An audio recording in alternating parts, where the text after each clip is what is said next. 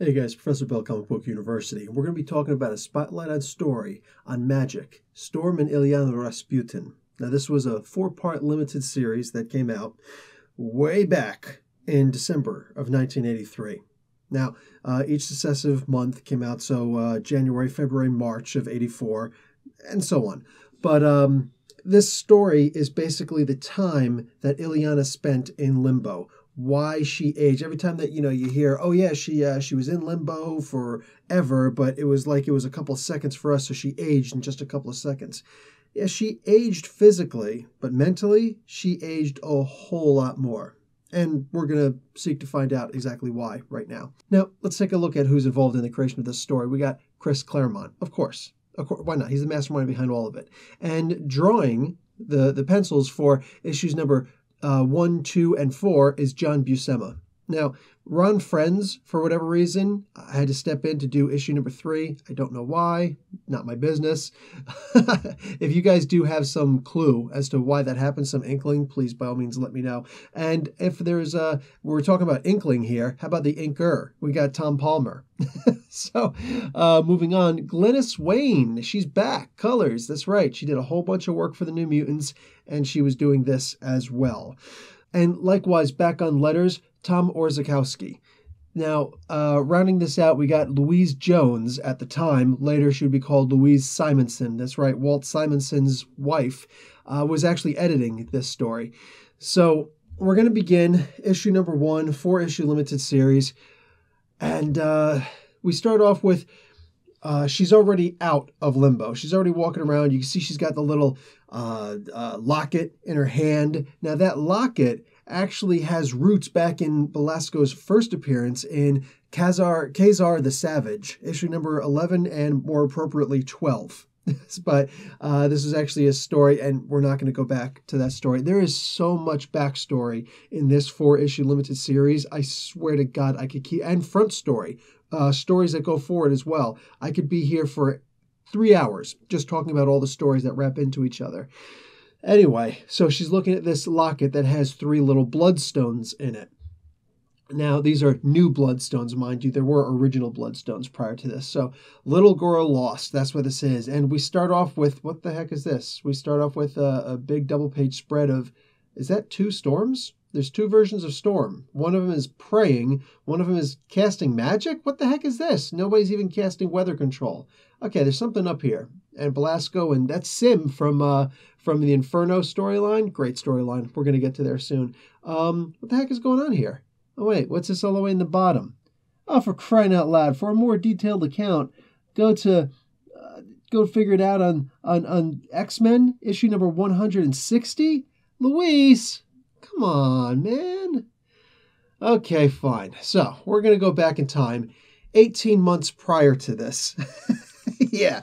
Um, I said that uh, we'd be here all day if, if I were to go back to all the stories. Unfortunately, I do have to go back to some of the stories, and just particularly this one. So let's get this one kind of out of the way first. X Men issue number 160. This is August of 1982. And oh, look, Chris Claremont is on it. More than that, uh, Brent Anderson is doing the pencils. And over on inks, we've got Bob uh, we Wiacek, yeah, Wiacek, dude, Bob. Seriously, man, just give me a give me a breakdown how to pronounce your name. Anyway, uh, hey, Glynis, you're back, back on colors, beautiful. And oh look, Tom Orzechowski also on letters. That's just great. And there's Louise Jones slash Simonson. She's back there in editing. And oh, look at this, Danny Fingeroth. He's also editing. It's not even like assistant editing. You actually have two editors on this because they knew this was going to be a huge storyline. That well, at least that's my guess. I, I have to take my own close estimation. So um, we're going to look at Chutes and Ladders, X Men issue number 160. Okay, so we can see the X Men training, and they're not actually in the danger room. They're just on their own out in this uh, little paradise island. I'm not going back any further than this, guys. So um, they're actually really tired. They were just battling uh, Dracula, the issue prior to this. Huge thing. Go and check out Bloodstorm, explained in a minute to understand why Storm became a vampire in another universe and now is over here in the current 616 universe in the pages of X-Men Blue as of 2018 this January 2018 I'm doing the story. And oh look at this. There's somebody with a, a left hand staring. Now I'm making that joke because Belasco actually only has a left hand. A lot of people don't uh, recognize that. They actually hit it very well. I remember when I was a kid, I had no idea, and it wasn't until I got much older and talking with some people like, you notice he only had a left hand, and then going back and reading the the Savage uh, Ka-Zar, issue number 29, they actually show, and that actually cross sects with issue number four of this story that we're going to be reading the uh, Magik one through four issues. He actually only has a left hand. His right arm was lost due to a special magical sword that is actually able to cause him harm and possibly kill him. Belasco is an immortal. And we will get into Belasco explained in a minute. Uh, for many of you, for most of you, I imagine, uh, that's that. Um, tale will already exist. But for right now, at the time of me making this, just it'll happen. So he's got that locket that Illyana was looking at, and oh gee, look at that. it's actually it actually looks full, but it's really empty. So uh, that's just the housing for those uh, bloodstones. Uh, it was full, full once before with different bloodstones, but regardless. So these guys are training, and Illyana is there watching them, and all of a sudden, this voice, it's actually Belasco calling to her. So she goes, and she's going to go forward and she's going to uh, go off into these ruins. They haven't actually explored the entirety of this island as of yet. So um, Kitty Pryde at one point is going to see her slipping off, and she's going to slip off as well, and she's going to go and follow her. Now they both get taken away by some kind of a, a stepping disc. Uh, Kitty Pryde actually makes reference to that. That's from Larry Niven's Ringworld sto- uh, stories, this stepping disc idea. So there you go. That's exactly where it came from. That's why they call it as such. And Kitty Pryde actually came up with the name. And she is credited by Illyana much later. So, uh, anyway, Storm is going to be naked a lot in this story and the next story we're going to be reading. Just, I, I hope that, you know, uh, an absolutely gorgeous woman taking off her clothes and bathing often doesn't bother you because it happens a lot here. So um, Storm is talking about how she just got finished, you know, battling off Dracula. Now she's really tired. She's sweating. She's trying to, you know, make these these uh, weather tempests and whatnot. So she says, you know what? I think Nightcrawler gives a suggestion. Hey, why don't you take a little shower? You know, so. Like, oh, what a perv. And you'll see just how much a perv he is later in the future, so, so to speak. So she does. She takes off her clothes and she causes a little rainstorm just around herself. She's like, hey, anybody else want to be in a rainstorm? Uh, no, no, we're good. So it's just her. And she has no problems, uh, you know, stripping to the buff. So anyway, um, eventually Wolverine or all the all the X Men will realize, hey, you know, Kitty's gone, so is Illyana. What's going on? You know, Colossus Colossus's little sister. Hey, what's up? So they start going after, and and, and Logan is actually going to track them to where they're supposed to be, and they fi- wind up falling into these stepping discs as well. So this island is a great um, transport into limbo. And great is probably not the best word for it. But anyway, anything where limbo is involved. So Kitty Pryde finds herself in limbo. She doesn't know she's actually there yet. And she sees Nightcrawler. Hey, Nightcrawler, what's up, buddy? He says, she's like, oh, come, I'm so happy to see you, even though he's wearing these weird clothes. And she gives him a hug, and he hugs her boob. Yeah, mind you, she's only like 14 at this point, so there's so much child endangerment going on here. In the meantime, like she phases, she's like, "Oh my God, Kurt! You know, how could you touch me like that?" She, he totally cops a feel, totally cops a feel, and you see, you know, phases right through her. and uh, what do you call it? She's like, "What's going on?" And he's like, "Hey, you know, if you're really happy to see me, why don't you show me?" Oh wow, this is freaky. Okay, so she's going to run away from this version of Kurt. And make no mistake, this is actually Kurt. It's just Kurt who is seriously corrupted over a ridiculously long lifetime and by Belasco, who she winds up running right into as she's trying to escape. She runs right into Belasco. And um, he explains, yeah, this is really Kurt. I've corrupted him, you know, for a long time. Hey, deal with it. And he's gone. He is gone. Like Kurt is gone. There's no redemption for this poor son of gun, son of a gun. So, um, you know, he's just like, you know, hey, I'm Belasco, what's up? And we don't get to see what happens yet. First, you're going to see that uh, Storm and, and Colossus are together, and then she's going to get attacked by some tentacle beast. Yeah, Chris Claremont, just, I'm just saying, like, he was awesome, but at the same time, now that we're older, this is this is some seriously heavy stuff in here. Like this guy reads way too much manga. so anyway, maybe he actually created the manga genre. I don't know. I don't know. Anyway, so uh, at some point she winds up getting these extra powers, uh, the powers of the other X Men who would come down here, uh, Colossus and Wolverine and uh, Nightcrawler, including her own, and she's able to fight off this beast. In the meantime, um, what do you call it? She, uh, um, uh, Shadowcat, she gets encased in this little magical thing, this this magical um, uh, crystal, and you see this being called S'ym, and S'ym comes over and he sees the bones, the adamantium laced bones of Wolverine, and he reaches down to these bones. He's like, huh, you know, I was just here a moment ago and there was meat on these bones. I was hoping to have a feast, but I guess somebody else came along and ate Logan. So we don't find out here exactly what happened there, but um, S'ym does reach down and he plucks off one of the um, the adamantium claws, the adamantium laced claws. At the at the time, we think they're just adamantium. This is way back in the day, but now we find out they're adamantium laced. That he actually had a bone housing there. So um, he just pulls it off and he starts picking his teeth. Now, mind you, I said pull it off. I'm just leading you into this. He actually breaks it off. He snaps the adamantium right in the middle. There's no messing with the housing or anything like that. He literally reaches down, brink, you could see clearly. He breaks the adamantium and picks it up. S'ym is an unbelievable, godlike, supreme powerhouse of a demon down in limbo. He is you do not mess with S'ym. His only weakness is to magic. Wolverine's claws aren't hurting him. Colossus's punches ain't hurting him. Nobody's hurting him. Only magic. And that's why he's afraid of Belasco. And you'll see uh, in the future where exactly we go with that. And he actually goes and starts picking his teeth. Just to give you an idea, he's not just strong, he's nigh invulnerable. He starts picking his teeth with an adamantium claw. Absolutely insane. So Belasco's like, "Oh, Kitty, does it scare you? Does it freak you out to see the skeleton of your your former teammate? Oh, well, perhaps you'd like to see your own skeleton." Actually, pulls the skeleton out. Now, this is just like a minor thing. It's whatever. It's just to show his power and how freaky he is. The skeleton is moving, uh, and she can technically move both. You know, they uh, he says if you actually come, if your body comes out of that uh, magical en- encasing I've got you in, you will die. The only thing keeping you alive is that. But meanwhile, her skeleton is out. And you'll see in several parts of the comic book, if you go and read it, pick up the graphic novel, the trade paperback, she's actually able to move around as the skeleton. It's freaky. She can't talk, but she can wave and do all sorts of freaky things. It's wow, messed up.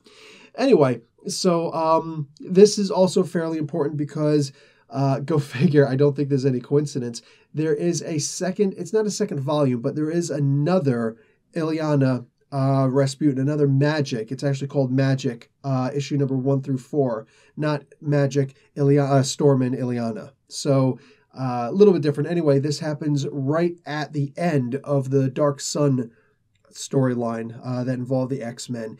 And in that Dark Sun actual storyline, we get to see that Kitty Pryde had something placed in her when the skeleton was removed. Belasco actually decided to mess with her a little bit more by removing her skeleton. So you can see the story is just overarching and it's great. It's absolutely fantastic. Anyway, this is when Belasco gives his ex-wife's uh, locket to Illyana. He plans on using her for whatever purposes. Now, Nightcrawler is looking over top and he's like, hey, I see this. You know, I'm going to get revenge. I'm going to figure out what's going on. Over in the rest of the universe, this limbo plane of existence, uh, Logan, excuse me, I'm just moving my notes to the side. Logan is uh, sitting, is walking around, and he sees, he smells Colossus up ahead. He goes up, and it's actually a much older version of Colossus. The chest is completely caved in. This guy is dead. It's been dead for a while too. And he's like, "What the heck could have done this to Petey?" And all of a sudden, S'ym shows up grabs him dead in the chest, throws him, his shirt rips off so you can see, you know, tough, hairy Logan. Anyway, um, Logan goes and jumps back, but S'ym is so fast that while Logan is mid leap for his face, he clunks him on the head, Clud, knocks him clean out, knocks him unconscious. Um, at, at one point, Colossus is, is, is coming around the corner, but just as uh, S'ym is about to step on his head, and mind you, he's able to break adamantium. So he's about to step on Logan's head. Yeah, this is probably a death blow. But just as he as he stomps on the head, one of the stepping discs appears. and it takes him away someplace. Someplace, sometime. Yeah, exactly. So Colossus didn't have to show up at this point, but he does. He shows up and he's like, hey, what's going on? I'm going to kick your sorry butt. Yeah, the person who did this to the dead Colossus sitting right over there, which Colossus sees, mind you, is like, uh, is that me?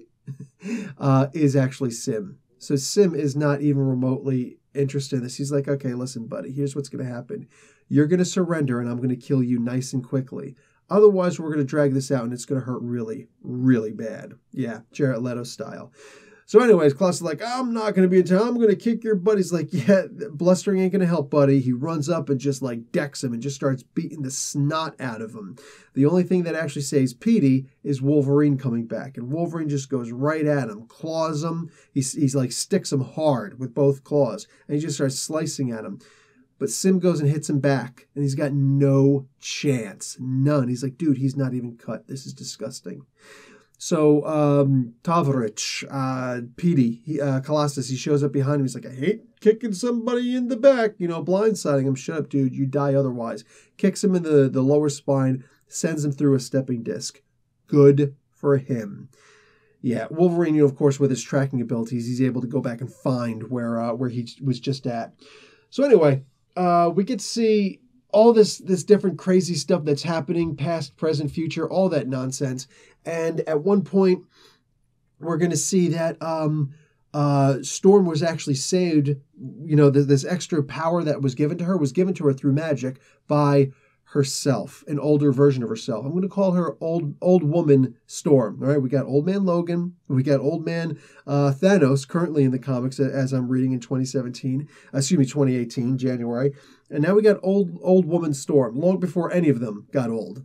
so uh, there she is, and she's got magical abilities, and she gives her new clothes. Storm decides to go skinny dipping in the pool that's right there, and yeah just deal with it, man. Deal with it. I, I did.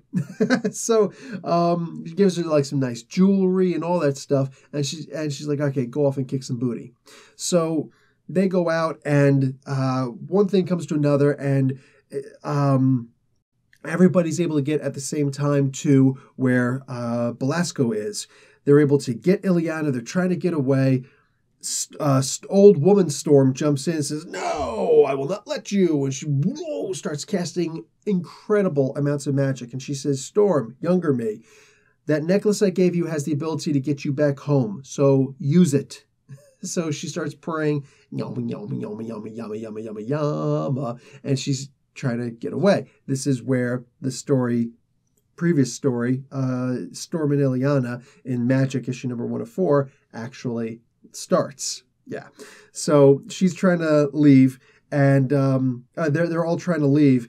Uh, Colossus has Illyana in her hands, but Belasco is able to teleport past Stor- Old Woman Storm's, Old Woman Ororo's uh, defenses, excuse me, and one handed yanks her right out of Petey's hands. He's like, uh, I wasn't expecting that. So Kitty Pryde reaches over and grabs her uh, yeah, her skeleton gets put back in by Old Woman Storm, and they start teleporting out. They're all through the portal, but uh, Kitty, she's still got her hands through the portal. She can't see because she's being held back. She can't even put her head in to see what's going on, but she starts pulling, but she loses her for the briefest of seconds and then grabs her again. She's like, oh, I got something, pulls her through, and it is Illyana. But it's 14 year old, 13 year old, but they explain later on she's on the cusp of 14. So she was uh, almost seven when they left her. And then that brief second where they lost her and grabbed her again, she was almost 14. Seven full years have passed. That's nuts. That's nuts. So this so now we're going to break into and you know she has a nightmare whatever and uh Petey Tavarich goes in there Rasputin I know and uh, goes in there and you know sits down with her and comforts her let her sleep and guards her for the night. Really cute. Meanwhile Belasco is sitting there. He's like I've st- you know you've still got that locket and I'm still looking forward to what's going on. So three soul uh, not soul gems excuse me three bloodstones are filled. So now we're going to go 18 months in the future of real time, yeah, they made us wait 18 months from uh, August of 1982 to this December of 1983. They actually made us wait 18 months to see this freaking story go through. Dude, not even cool. Not even remotely. Anyway, uh, New Mutants issue number 14 was out at around this time. So, give you an idea, that's when Magik uh, had already joined up. She had her soul sword and her stepping discs, and we didn't know exactly what else she could do. Anyway, so back into this story proper. We're going to see that uh Illyana is, you know, looking at her her stuff. She she's remembering all this other stuff that happened. And here's what happens at this point. Uh Belasco did get her. And then he's, you know, looking at us like, uh, you know, ha, I'm, I'm to do some cool magic with you. And Ororo's like, no, I can't let you, old woman Ororo. And she goes and casts her magic and, and, uh, uh, what do you call? It? She gets blasted, and she's you know, Belasco's like, "Oh, listen, you're gonna calm down, all right? And you can always rejoin me again." Whoa, rejoin me? Not cool, dude. Not cool. So she says, "Yeah, uh, I'm not gonna rejoin you again." He's like, "All right, whatever. You're gonna watch this." So he goes and he basically uh, pulls Illyana's spirit out, ages it, morphs it, and and forms what's called the Dark Child. That's right. And guys, check out uh, Illyana Rasputin or Magik explained in a minute to find out more about the Dark Child and all that good stuff. Uh, not good for her, mind you. So uh, just see what she could do. So uh, she he takes this ability and immediately forms one of those bloodstones and puts it in the locket. Yeah, uh, no mortal hand can remove the bloodstone once it's been in there. So there's that. And to find out more about what he could do, just basically, this is what's going to bring in the elder gods for, that were banished into the other universe. And to find out more about that, that's to go back and look at a lot of really old comic books. Um, Serpent, uh, the Serpent Crown affair is actually a really good way to uh, to figure out how that that all happened. But for the most part, elder gods were uh, banished themselves. They couldn't come back into the prime material plane. If they did, uh, Atum would destroy them. That's uh, Amon Ra, basically. He would have absolutely wasted them. So, no. and, and you call him Demogorgon for the most part. Uh, he would have absolutely destroyed them and, and taken their essence and sprinkled it around the, the universe. So, or excuse me, around the, the world, the Earth at least. So anyway, these guys were looking for a way to come back into the world, and Belasco was supposed to be able to do that. This was in Ka-Zar, uh, issue number 11 and 12 for the most part, and I will do a spotlight and story on those. Believe that. That's actually the first appearance of Belasco. So uh, he, he's able to form the Dark Child. This is uh, and puts his his taint inside of her. Yeah, no, no more comments like that, please. We got enough of stars. She's still going to get naked. Uh, as old as she is, she's still going to do all that. So anyway, um, he puts the uh, uh, he basically puts his evil inside of her and takes whatever she's got of power, of her potential, of her future, and puts it into this locket as a, a, bloodstone. So he then turns around and like gives gives Ororo a really good blast and says, "Why don't you think about that?" Now she's potentially going to die here, but all of a sudden, Cat shows up. That's right. You saw the old man dead version of Colossus. You saw the old uh, pervy version of Nightcrawler. Um, you didn't really see a whole lot of uh, Logan because he was just his bones at that one point. Uh, but you didn't, and you saw, of course, old woman um, uh, Storm, who you're seeing now. But what you didn't see was old person Shadowcat, older, older woman. Let's just call her womanly Shadowcat, and she's calling herself Cat at this point. Now, Cat, she uh, she's basically uh, she's been turned into a cat, and you're going to see it later on, or they, they, would explain it later on. She's actually been turned into very cat-like features by Belasco, uh, just playing around with her and whatnot. So this is the reason why, even if she did find a way to go back, she wouldn't have gone back because she figures, no way, absolutely no way. I can't go back to them after what I've become. And she's become something of a murderer. She's got ninja stars all over, you know, shuriken, the Japanese uh, throwing stars all over her arms uh, that she can throw at any time. She's got a katana with her. She's got a, a knife. She's she's stacked with weapons. All right, she's stocked. So she goes after Belasco. She's like, "I'm going to kill you," and he's like, "Yeah, no." He teleports away, and um, yeah, she doesn't really have that much of a chance. So anyway, she's able to rescue Illyana and Storm. Mind you, every single thing that happens in here, for the most part, is Belasco's doing. He is essentially a master of time and space in, in Limbo. Mind you, this is not the same Limbo that Kang the Conqueror is in. It's a different plane that he calls Limbo. That's the time stream. Anyway, so they go to this beautiful garden, and as it turns out, this is actually um, Storm's old old woman uh, Ororo's. Um, this is her Sanctum Sanctorum. So yeah, she's actually the Sorceress Supreme on Limbo. This is a completely different realm of existence than the Earth realm, not just, you know, that general area, but that entire dimension that Earth is in in the 616 universe, where Doctor Strange is the Sorcerer Supreme there. She is the Sorceress Supreme here on Limbo. So she's got this beautiful garden, that's her sanctum, and basically she's going to try and save Illyana. but she's wise. She's much older. She's very wise. She explains how um, she did have a sorceress origin in the past, but she went with her mutant origin instead and just really developed that when she went with uh, Professor X. But as she started to get older, it was harder for her to use her mutant powers. But the sorcery that was able to happen anytime, and Belasco was able to harness that, and he actually made her a demon form also. He did a Dark Child version of her as well. So she's got a taint, uh, this big um, uh, orb of evil, basically, inside of her that is Belasco's taint. Now, she um, it's actually much much larger than what Illyana's is, which is fine. She's just recently gotten this. Anyway, she's sitting there trying to teach Illyana, hey, listen, check this out. Um, you don't have to obey what he does. You can you can use your magic, you can use all this stuff and avoid becoming what he is. Just do your own thing. And she takes her onto the astral plane to begin her lessons and says, "Look at this oak tree that I've got. It's beautiful, right? Look, I'm going to form uh, an eggcorn. Look at that. Pretty cool, right? Plants don't exist in limbo, but I brought them into existence. I created life here. That's what I do as a Sorcerer Supreme. So Illyana tries to do it and she can't. It turns into this big blood splatter type thing, destroys it. It's disgusting. Anyway, she tries to do what she can, but um, uh, and you can tell the storm really is tainted. She's got a lot of evil inside of her that she tries to meditate away.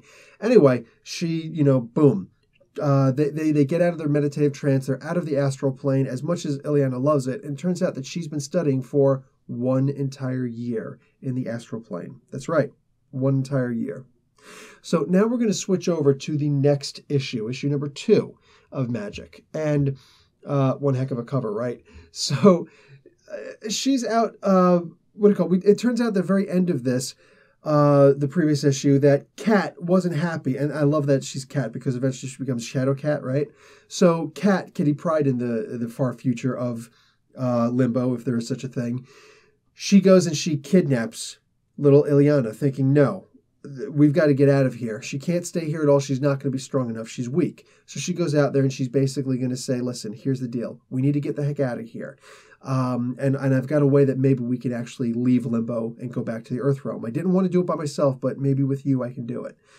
So, and Storm didn't want to go because she knew she's got to stay and help Illyana. So, anyway, they start leaving, but they come across a bunch of demons. Cat actually gets surprised and she's almost killed. Illyana winds up stepping Disc away as she comes right in front of Colossus's body. Yeah, that old horde thing. And of course, who else is going to be there but S'ym? And yeah, evil, wicked, evil. So uh, she's able to get away. Cat is able to stab his tail. It's like, whoa, so magical blade, cool. Anyway, they do wind up getting away. They, they go through one of the stepping discs that's on the wall. So they get away, they go out to this big open field. And uh, they go out and they start running. And Illyana's exhausted. She's like, oh my God, I thought that we could, you know, get out of here, but we can't. Where are we going anyway? She's just laying there. Mind you, she's a seven year old girl at this point, almost eight, right? Seven or eight year old. So, um, Cat goes and says, You see those mountains way out there in the distance? Like really far. She's like, Yeah. She's like, We're going to go there. How are we going to get there? Run. That will take forever. She's like, Yeah. So keep running. So they run and she can't run anymore. Illyana literally, like, just, she's done. She's spent. And once she's spent, uh, they've got to, they've got to fight because there are demons everywhere, even out in the open. So she's able to take down a, a two-headed saber-toothed tiger, and that's dinner. And they must eat a lot because there apparently wasn't enough for breakfast. But uh, instead of sleeping, Cat goes and makes a, a pelt, uh, uh, goes and makes a clothes out of the pelt. That little nightgown that Magik is wearing, excuse me, that Illyana, she's Illyana right now, is wearing, isn't going to be good enough for this this Badlands. So she gives her these clothes, like, here, put these on. So anyway, uh, she's like, come on, let's keep running. And on top of running, they're also going to train a lot. So they're going to do this training. They're going to try and, you know, get better. Uh, she needs her to be better, just uh, faster, stronger, quicker, all that good stuff. More agile, more dexterous, you know. And she's got to be good with uh, with weapons and hand to hand, everything. And she does. At first, she goes and gives Magik a, a cut on the cheek. Well, after quite some time of running and no sleep, pretty much, and just practicing with the weapon, uh, Kat actually goes and gives her the sword. After a while, Illyana gets so good that Kitty starts keeping the sword and gives her the knife instead. She still winds up getting a cut in return on Kitty's cheek. So she got really good while doing all that practice. Was this another year of travel? Maybe. You know I'm saying? Maybe it was two, who knows? But it was a lot of running, a lot of practice, a lot of everything. They get to the, the foothill of this huge mountain, and it turns out this is the citadel of Belasco. So she's like, listen, we're going to get up there and we're going to see if we can't get home. So now we're going to break into the next issue, uh, pretty, well, pretty soon. Anyway, um, uh, towards the end of this issue, Nightcrawler is there, and she's got to fight off Nightcrawler.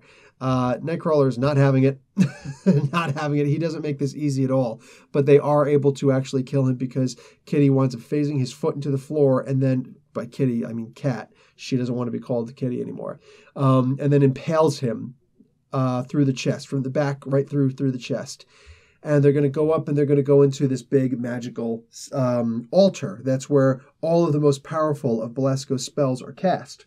So she, her plan now is we're going to try and phase. I got my phasing ability, you know, and with you, you know, confidence I'm going to build by having you with me. I'm going to try and phase through the time stream, through the dimension wall into um, uh, into the the regular material realm and try and go back home uh, with you we just need to get out of here.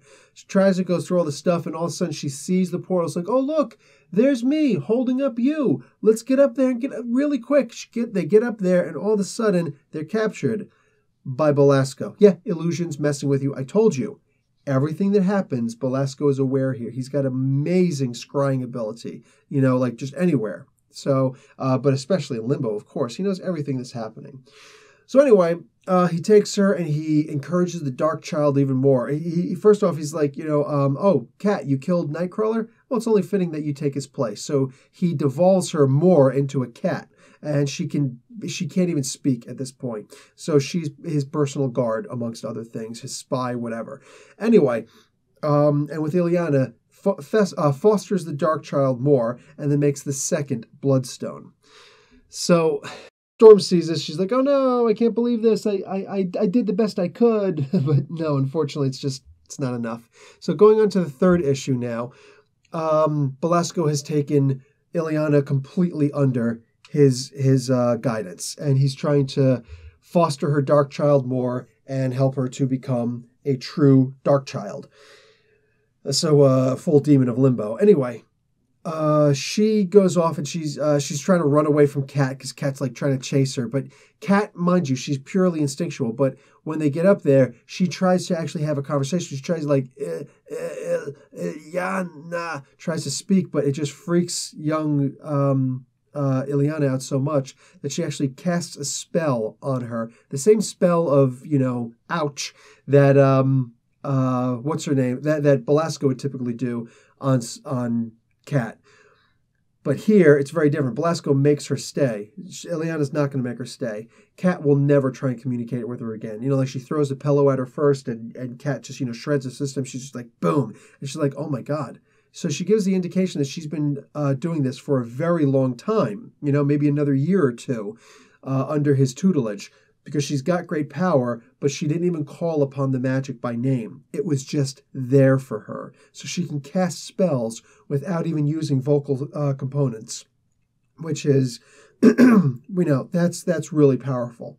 So uh, she also starts looking around like, you know, I wish I can get out of here. You know, let me try and cast this this uh, pentacle of silver that Ororo taught me to cast. And Storm actually shows up in her astral form. She's like, okay, listen, I just need you to have patience. I'm still with you. Just, you know, she's like, no, let me try and escape. She's like, it's not time yet. Please relax. Trust me. And she disappears. Like, ah, come on. So she tries to do her little pentacle again, tries to get out. It's not working. She's infuriated. And um, she's to, I think she actually even goes and tries to do the acorn again. Nope splat. So she's laying in bed and she sees um, a, uh, a stepping disc appear on the ceiling. She's like, that's weird. Belasco made it so the stepping disc can't come inside of his citadel. And why is that one on the ceiling? It's not doing anybody any good. So then she realizes that she summoned it. And then she's making it come closer to her. So not only can she summon these things, she can completely control them, actually make them move along surfaces. So that's when she realizes that this is not her magic, this is her mutant ability. Her mutant ability is to control these stepping discs being in limbo, man, it does something for you. So um, she transfers the whole bed through limbo, and all of a sudden, New Mutants issue number 15, uh, number 14 kind of shows up here. And uh, the New Mutants show up, and they come out of this car, and you have to go and uh, look at that issue uh, to, to figure out exactly why this happened. But anyway, um, you know, boom, they show up and then they disappear again just as fast. And she's like, what's going on? And they're all like, you know, oh my God, it's, it's Illyana, but she's so young. What's going on? Anyway, Illyana goes and teleports herself again, and she sees that she's up on top of the uh, in the in the main uh, summoning chamber of Belasco, and different versions of Storm are fighting him, younger versions and everything, and they're actually doing a good job of kicking his butt. So she realizes that she must have transferred through uh, not just space but time as well. So this version of Storm actually winds up killing Belasco. It's like, oh crap. So she's like, yeah. But as it turns out, it was all just a plan of Belasco. Again, everything that happens in here, he knows. And he is immortal, granted immortality by the elder gods. He cannot die, except by very specific magical means. And even then. So, um, so she actually just festers the dark child in her even more. So this is basically an origin story for old woman Ororo. you know what I'm saying? Um, uh, anyway, uh, Belasco starts, you know, showing like, hey, you know, like all this, you know, great power. Listen, you're going to help me out. Here's this old woman storm and whatnot. Here's what's actually going to happen. Okay, you, uh, we are eventually going to sacrifice her in order to get the power even greater. Okay, and you know, we're gonna we're gonna make more bloodstones. We're gonna fill up that pentagram, and then we're gonna we're gonna go and invade the earth and realm together. You and me. You as my dark child. All right, but we're gonna we're gonna use Storm as a sacrifice. She wouldn't join me, so this is what we're gonna do. So Illyana does something that really taints her innocence a lot. She sees Storm smile at her, and she realizes that this is what Storm was, was grooming her for, was allowing her to be groomed for. Illyana pulls out her dagger, and she kills Storm. Yeah, messed up, right? So she kills Storm. This way, there is no sacrifice. It's just a murder. So now Belasco is infuriated. He's infuriated. He's like, You will pay for this and we're going to switch over to the final issue, issue number four. And we're going to see that Belasco's like, I'm going to make you suffer for everything that you did. How dare you do this? They relive what just happened. So she said, he says, listen, you can run, you can hide. I want you to suffer, but I'm going to make you suffer, girl. You made a very, very poor choice now. So she stepping discs her butt out of there. She goes back, she sees like her her parents, and they're like, oh, you know, father's like, I disapprove. And she's like, no, all that stuff that a little girl would dream as her worst possible fears, right? Uh, parental disapproval, you know? So all these crazy things, like these demons, you know, seem to be attacking her. They're yelling. It's Belasco's voice. They're yelling through her friends as demons attacking, as undead demons attacking, and just crazy stuff. So she gets to this one point where she sees that um, that she's gonna have to do this stuff on her own. She she winds up getting uh, teleported back to to Belasco. He sucks out another uh, bloodstone from her and then sends her packing on her way again. Just like I'm gonna mess with you again for a really long time until I can get that fourth and fifth bloodstone from you. So uh, she's out and she's like, okay, uh, it turns out that I'm over by Ororo's tree in her garden, her sanctum. So she tries forever to make another eggcorn and she's actually draining life from this old oak and up until the point where it actually dies and she's still not successful. So with the energy left in her, she's like, I don't know why I'm not successful. And she's like, wait, Ororo's always, why did it take so long? I killed this poor tree for nothing. She says Aurora was always successful because she was all about life. And even the magic that she did, a future evil dark child version of myself tried to kill her, you know, put, wrapped a, rip, a whip around her neck, and she turned it into a bed of roses. You know what I'm saying? Instead of like making it attack her back.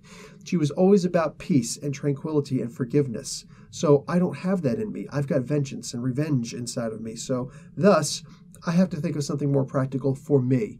And that's when she forms her soul sword. And it was the easiest thing. She's like, I could have done this uh, ages ago. Why didn't I? Well, you were young and immature. It's not your fault. So, anyway, she forms her soul sword for the first time. So now she's going to go up and she's going to get in the face of Belasco. Now, Belasco actually has these uh, statues set up of Ka-Zar and Shanna and all this stuff. He wants Shanna to be his new wife. He actually wanted that way back in issue number 12 of. Uh, uh, Ka-Zar the, the Savage. Now we're up to issue number 29, and you can actually go back and check out those issues. I will probably not be reviewing those, but this is actually where you see that there's this one sword that can actually hurt him, and you realize that he is missing his right arm. That's actually the issue. It's like, who was reading Ka-Zar? You know what I'm saying? So they gave the idea that, yeah, this sword can actually kill him, or at least can take away body parts from him that he can't regrow at this point. And he can come back from so much damage, but not from this. So anyway, uh, Illyana shows up and she's like, "Yeah, it's time to play." And he, she's even able to hurt um, S'ym, which is like, wow, insane. Anyway, Belasco is like, you know, he's terrified. He's trying to fight. He's got no chance. And she's just, she turns Darkchild on him and she's about to kill him. She's about to cut him down and he knows it. He knows he's toast, but she holds back. She actually withdraws. She holds her hand. And he's just like, What? You're not going to kill me? You fool! This was actually so. Remember, this was all a part of his plan. He was planning on using her rage to strike him down, just like Storm did. And Illyana showed up and saw that's how that's one of the main ways that Storm fell, and one of the reasons why Belasco was able to use her. So she was smart enough to not fall for the same trick. Uh, so Storm actually had obviously had some kind of an influence on where and when she was going to arrive to see that battle when she was younger, using magic and the Storm especially against um, Belasco. So Illyana learned from someone else's mistake. The absolute best thing that you can ho- ever hope for in a kid is that they learn from someone else's mistake instead of just their own. So, because you get an awful lot of bumps and bruises that way. So, anyway, um, uh, Belasco's infuriated, but she's like, get out of here. And he does. He leaves. And she takes what's left of the locket with three parts of herself in it, basically. And she goes out to the altar and she um, she uses her own stepping disc and she is able to go back to Earth. Uh, well, actually, but more specifically, she goes back to that time and place, that moment, and she reaches up and she lets Kitty grab her arms. And that's when she gets pulled out. And everybody's like, oh my God you know, and just like that's the story. That's the story. That's what had happened. So a story of great tragedy, great loss. This poor little six, almost seven year old girl who had to suffer for seven years, seven years in limbo, being hunted, tortured, having her soul ripped out and manipulated and only some of it brought back, you know, until she could rejuvenate some of that soul. Like just absolutely horrid conditions. So whenever you you see a, a, an Illyana Rasputin story or a story with magic in it, always remember whenever you're sitting there thinking she's too mean, she's too this, she's too that, look at what she went through. she's she's earned being that mean. She's earned being that savage. She's earned being that relentless because that's what she knows. So yeah. Anyway, um, again, check out Magik Explained in a minute. And this was my spotlight and story. Guys, I will eventually be, uh, as I said, talking about Belasco. We are going to start working on a road towards uh, Inferno because uh, just you talk to anybody, you talk to anybody my age, if you're, you know, younger, you will learn that oh dude is an actual uh, proper terminology in in english american english whatever because they will say, you know, you'll say, hey, uh, tell me about Inferno, this storyline called Inferno. You ever hear about it? Like, oh, dude, you're in for a treat. Yeah. And very few people, I think, can properly explain it, but we're going to attempt here at Comic Book University. Anyway, enough patting myself on the back. Guys, this was a story. Um, go and make sure that you can try and find the, you could probably find the four issues themselves. If they are too expensive for you, they probably shouldn't be. Not until the movie comes out. But if you can find the four issues by themselves, grab them they're they're in my opinion they're glorious. Worst case, get the trade paperback. All right, and links to to as such below. If you don't have a local comic book store near you or they're incapable of getting it, link below in the description. Anyway, guys, that's it for me. Professor Bill, Comic Book University. Class dismissed.